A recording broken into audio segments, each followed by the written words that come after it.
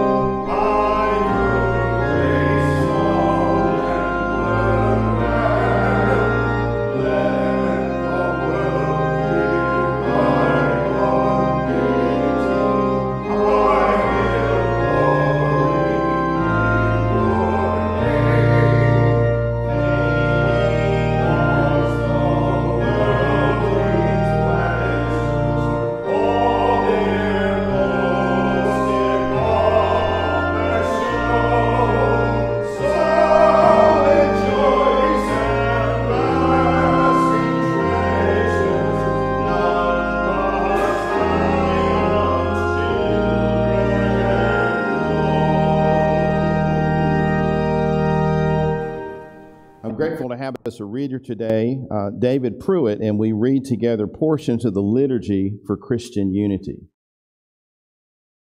Almighty God, you are the one who called this universe into being. Out of nothing, you created everything that is. By your power, you hold together all space and time and substance. By your hand alone, Creator God, the inanimate elements became alive so that we would live and move and have our being. We celebrate life, the precious life you have given us, and we celebrate that unity of mind and emotions, of body and soul that you want us to enjoy and share with each other.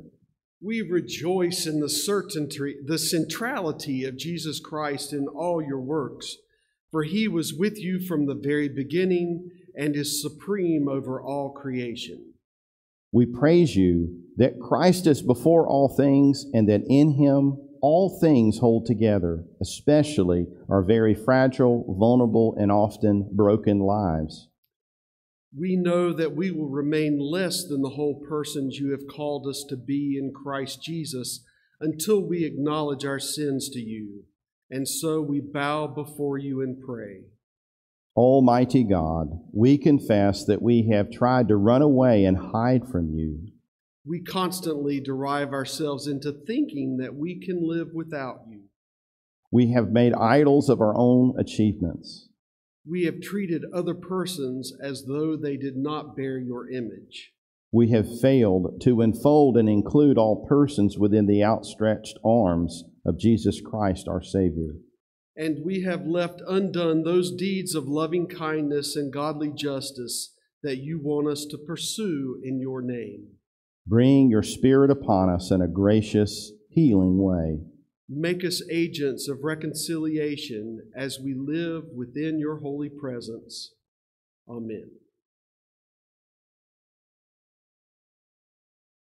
Our first scripture reading this morning is from Philippians chapter 3, verses 7 through 14. Yet whatever gains I had, these I have come to regard as loss because of Christ. More than that, I regard everything as loss because of the surpassing value of knowing Christ Jesus my Lord. For his sake I have suffered the loss of all things, and I regard them as rubbish, in order that I may gain Christ and be found in him not having a righteousness of my own that becomes from the law, but one that comes through faith in Christ, the righteousness from God based on faith. I want to know Christ in the power of his resurrection and the sharing of his sufferings by becoming like him in his death, if somehow I may attain the resurrection from the dead. Not that I have already obtained this or have already reached the goal, but I press on to make it my own because Christ Jesus has made me his own.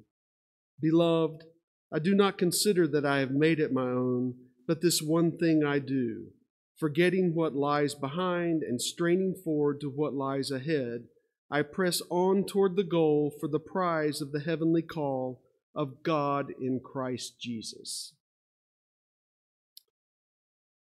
Our next reading is from Matthew chapter 21, verses 33 through 46. Listen to another parable. There was a landowner who planted a vineyard, put a fence around it, dug a wine press in it, and built a watchtower. Then he leased it to tenants and went to another country. When the harvest time had come, he sent his slaves to the tenants to collect his produce. But the tenants seized his slaves and beat one, killed another, and stoned another. Again, he sent other slaves, more than the first, and they treated them in the same way. Finally, he sent his son to them, saying, They will respect my son. But when the tenants saw the son, they said to themselves, This is the heir. Come, let us kill him and get his inheritance. So they seized him, threw him out of the vineyard, and killed him. Now, when the owner of the vineyard comes, what will he do to those tenants? They said to him, He will put those wretches to a miserable death and lease the vineyard to other tenants who will give him the produce at harvest time. Jesus said to them, Have you never read in the Scriptures? The stone that the builders rejected has become the cornerstone. This was the Lord's doing, and it is amazing in our eyes. Therefore, I tell you, the kingdom of God will be taken away from you and given to a people that produces the fruits of the kingdom. The one who falls on this stone will be broken to pieces, and it will crush anyone on whom it falls. When the chief priests and the Pharisees heard his parables, they realized that he was speaking about them. They wanted to arrest him, but they feared the crowds because they regarded him as a prophet. God always blesses the reading and the hearing of his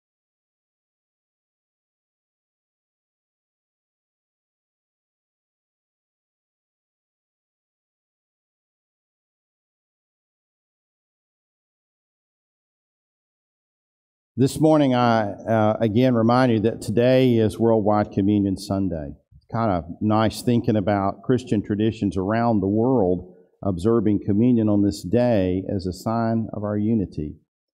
So, in some ways, this, this Sunday represents a celebration that we're not the only Christians in the world. Moravians have never assumed that, and that we're part of a bigger family. But it also stands as a moment of confession and repentance for not living up to a stronger witness before the world.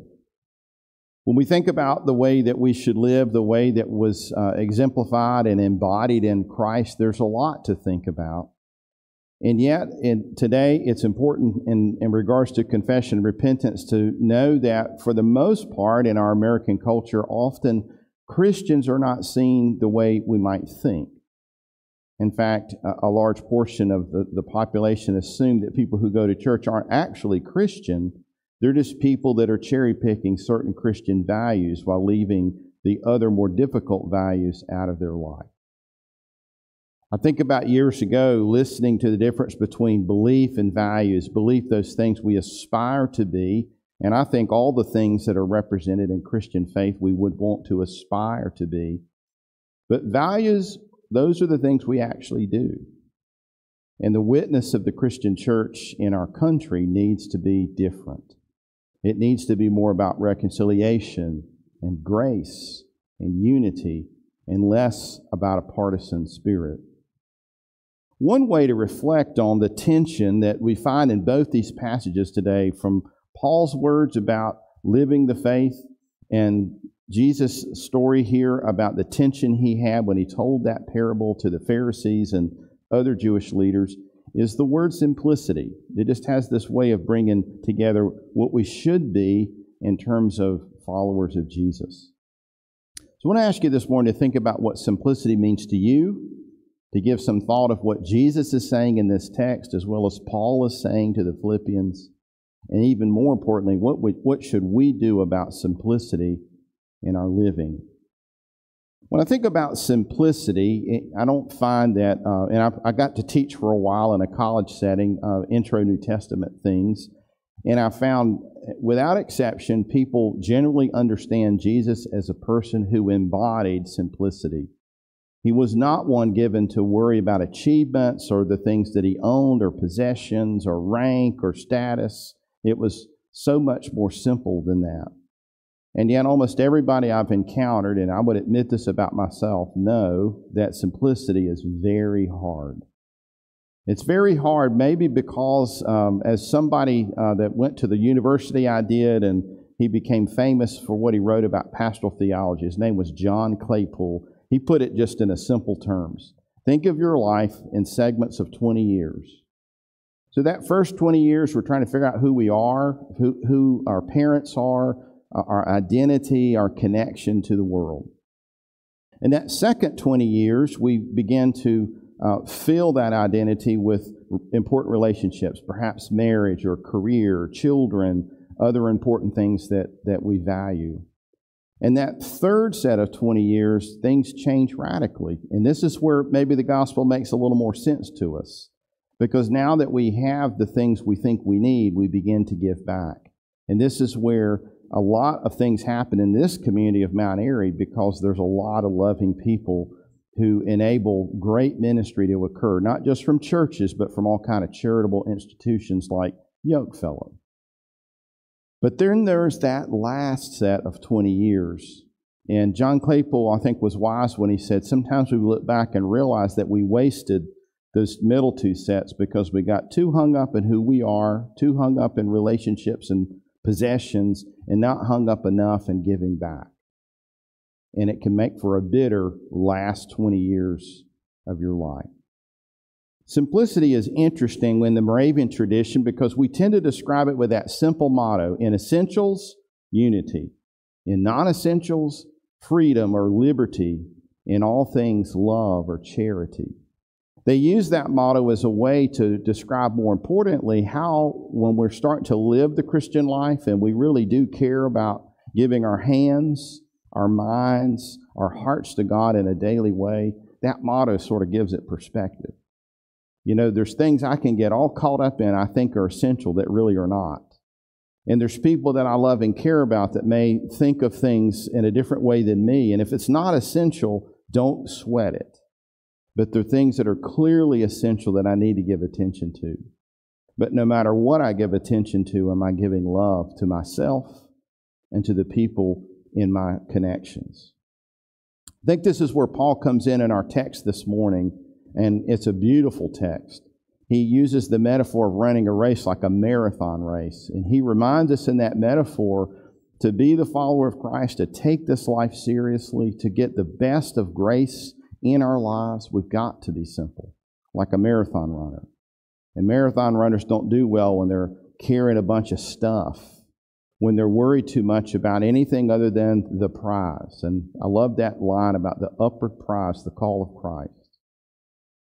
But I want to warn you that this passage also carries a very strong warning about grace. Because I think as a Christian community sometimes, and I'm not just talking about Moravians, I'm talking about all of us, we come off looking like we're trying to work hard to get God's grace, to earn God's grace. And that is not what Paul's talking about. In fact, Paul's describing a life that's becoming more and more available to him, full and filled with God's presence, that he wants to get rid of everything that he possibly can to make more room for God, to run a simple life. And he says, not that he's made it his own, but that Christ has made him his own. I hope you're, you're discovering that in your life. I think it takes your whole life to figure that out. And I'm glad that we have a church community that helps us do that. And then we get to that passage that Jesus is teaching from this morning in Matthew 21. And let's be honest, it's a hard one. It's a scary parable. We were at a retreat this week, the clergy of the southern province and some of our educators, and it was different this year because we did it both in person and virtual. I attended virtually, which helped me a lot. And not only did Southern Province pastors attend virtually, but there were pastors all over the Northern Province. So it was a much more attended event than usual. And there were quite a few that were at Laurel Ridge in person. Our speaker was Dr. David Hooker, who is the director of the uh, Center for Peace and Justice at the University of Notre Dame. He had a lot of wonderful things to talk about, giving uh, stuff that we're living through as a culture right now, particularly through the summer. He spoke to us last year, and it seemed like this year it came alive. I think it's the only guy I know in 31 years that was invited to speak two years in a row. But there was this real critical moment for me in the retreat when a young pastor, a young Latina Moravian pastor that, that serves in our area, asked him a really important question about speaking the truth as a pastor, but not wanting to be political to upset your congregation. And he began to, to show us this vision of Jesus that we sometimes forget.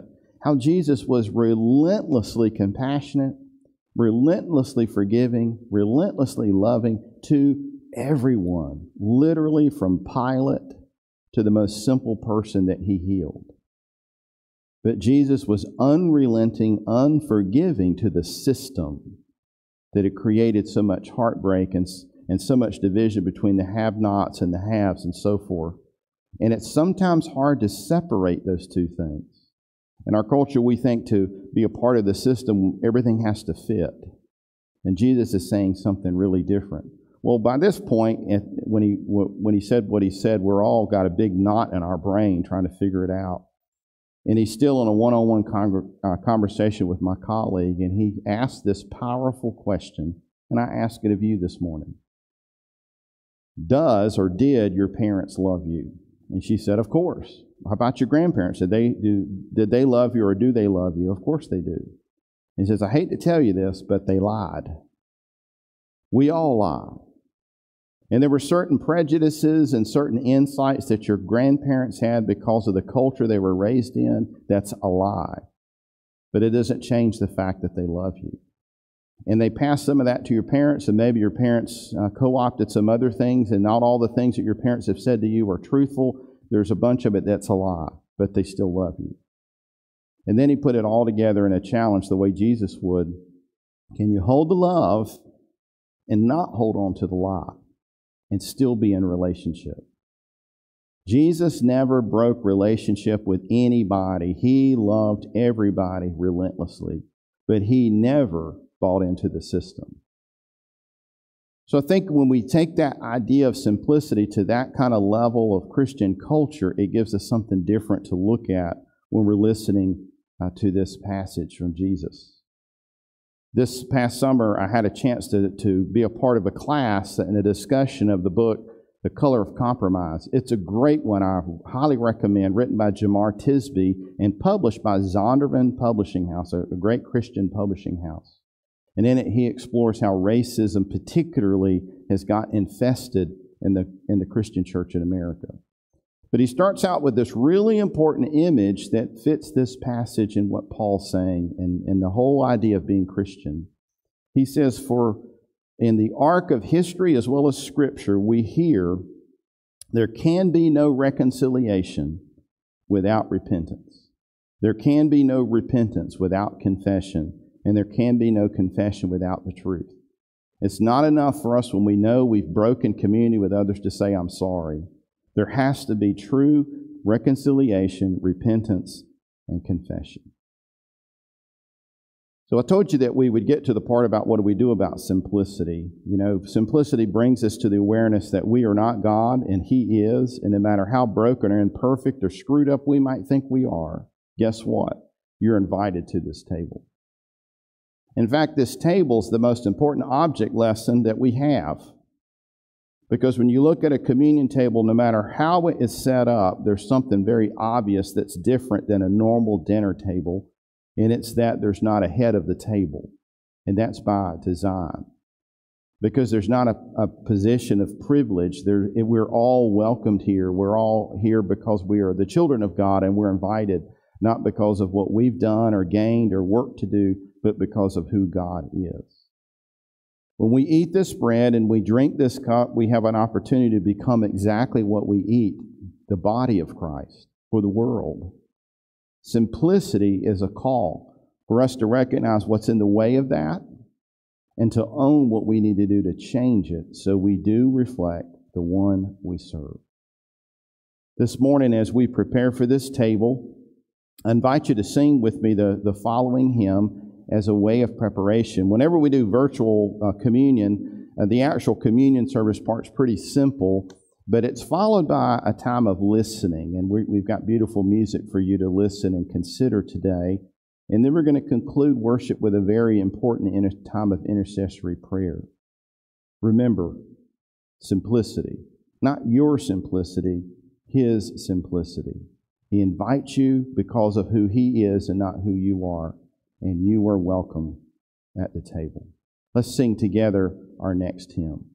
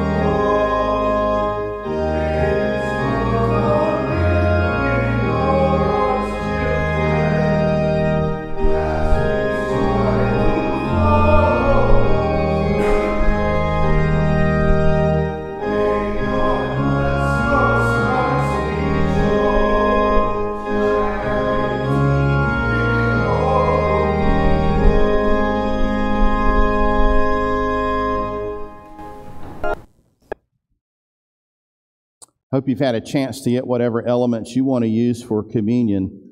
Let us pray together. Gracious God, we pray that you would come and inhabit this bread, not only the bread that's in the sanctuary, but in every home, that we might be reminded in the bread of what you've done for us. That you might enter the cup, the juice, in whatever form it takes, both here and at home, that it would become more than just a symbol, but truly your blood for us. For it's in this bread and in this cup that we find ourselves and we find our redemption in you. And now, Lord, we pray together the prayer that you have taught us, saying, Our Father who art in heaven, hallowed be thy name. Thy kingdom come, thy will be done on earth as it is in heaven. Give us this day our daily bread, and forgive us our trespasses, and lead us not into temptation, but deliver us from evil. For thine is the kingdom and the power and the glory forever and ever. Amen. On the night in which our Lord was betrayed, he took bread, and when he had given thanks, he broke it. He gave it to his disciples and said, Take, eat, this is my body, which is given for you. Do this in remembrance of me. And then after supper, he took the cup, and when he'd given thanks, he gave it to them and said, This is the cup of a new covenant. This is my blood shed for you and for many for the forgiveness of sin. Do this whenever you drink it in remembrance of me. As often as we eat this bread and drink this cup, we proclaim the Lord's death until he come. I invite you to a time of quiet reflection as we listen to the music.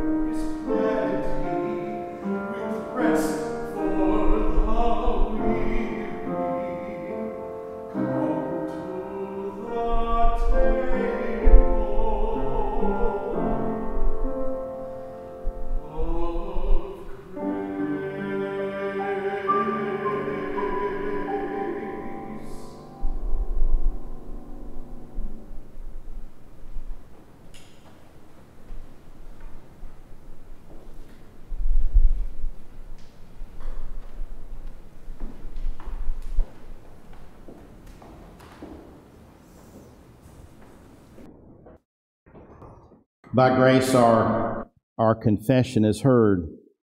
By grace, our repentance is true. By grace, reconciliation happens and takes us back out into the world to serve. And one expression of that as a community is to pray for each other.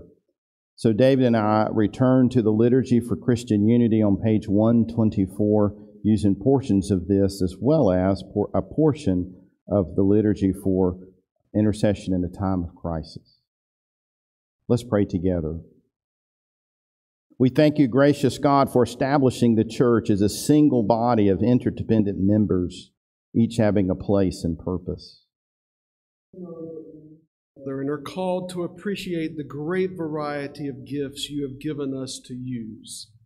Help us to rejoice with those who feel joy and delight. Help us to sing with those who are singing your love and praise. Help us to taste the agony of those who are hurting. Help us to share the burden of those who are in distress. Take away jealousy and resentment from our hearts when we see others achieving success. Fill us with that spirit of unity in Christ that lets us see and feel and know that we all belong to you through the grace we have received. Teach us to know and love the worldwide church called out of all peoples and nations. Make visible the unity that you desire as we express a spirit of reconciliation in all our relationships. Show us that we're part of the one and only body of Christ, unified by faith, scattered for witness and service. Lead us to appreciate the richness of our diversity and your creative power at work in our various traditions and customs. Make us all one with you by the inspiration and guidance of your Spirit. Lead us into lives worthy of your calling in Christ, with all lowliness, meekness, and patience, bearing with one another in love, and eager to maintain the unity of the Spirit in the bond of peace. We pray for this in the name of Jesus Christ. Amen. We do pause in this moment to remember those for whom we've been praying. We continue to pray for all those on our prayer list, those who are grieving, those who are healing from recent, uh, recent medical procedures, those who are lonely, and those who are struggling with un- unemployment or underemployment. Lord, be with all of our people that we have been lifting to you in prayer. We pray especially for our president in this time of crisis as he has COVID and other leaders in Washington may as well. And we pray these words from the liturgy of intercession in the time of crisis. We pray for those engaged in making important decisions in this time, for those who report on these events, and for those who shape public opinion. Give them the courage to speak out and the restraint to listen, that together we may discern the truth and hold aloft its light. Take away the temptation to trust in human power and give us the courage to be your servants to the community of nations. Direct all governments in the way of peace and justice, that your will may be known and done among the nations, as you seek to bring healing to our leaders and to the entire country that continues to be ravaged by COVID. I return to the liturgy of Christian unity. Dear God, as we, your people, gather in every time and place around this wondrous earth, let us be strengthened by our awareness of one another and united by our mutual prayers. Hear us and help us all, we pray. May the variety of traditions and customs of your whole church become a multitude of lights to reveal the good news needed by people everywhere. May the variety of our ministries and service convey your redemptive love and bind us ever closer to one another. Grant us grace to unite in essentials, to accept diversity in non essentials, and to love one another in all things. We close this time of worship by standing to sing together hymn number 511, The Church's One Foundation. Let's stand as we sing together.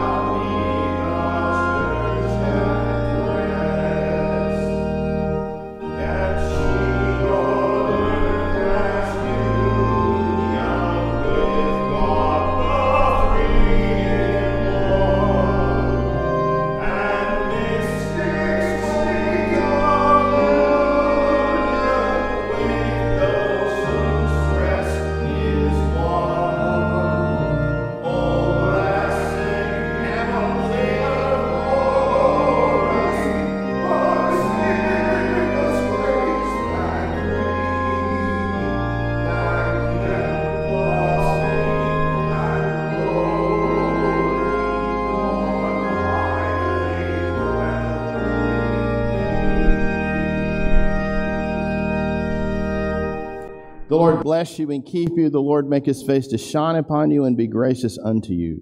The Lord lift up his countenance upon you and give you peace. In the name of Jesus, amen.